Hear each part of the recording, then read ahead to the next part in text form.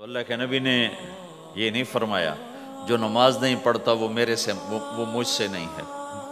मेरी उम्मत में से नहीं। जो रोज़ा नहीं रखता मेरी उम्मत में से नहीं है। ज़क़़त नहीं देता मेरी उम्मत में से ये नहीं कहा।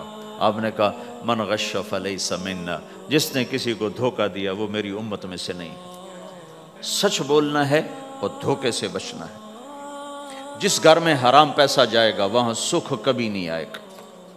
चीज़ें आ जाएँगी चैन निकल जाएगा।